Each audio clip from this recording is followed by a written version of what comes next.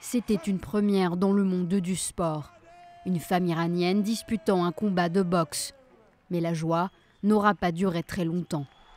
Lors du match qu'elle a emporté samedi dernier en France, Sadaf Radem aurait enfreint les lois de la République islamique, obligeant les femmes à porter le hijab.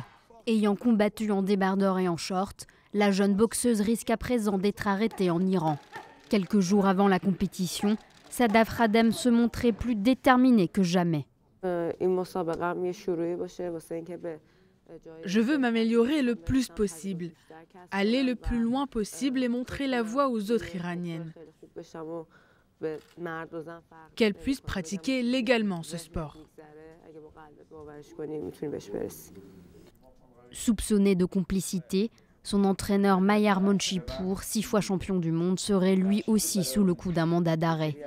La fédération de boxe iranienne a démenti toute sanction, pointant du doigt de fausses informations provenant d'Arabie saoudite. Sadaf Radem ne fait pas partie des athlètes enregistrés et du point de vue de la fédération, toutes ces activités relèvent du domaine privé.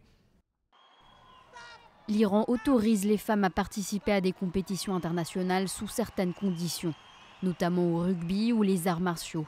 D'autres disciplines, la natation ou la lutte, sont interdites aux sportives.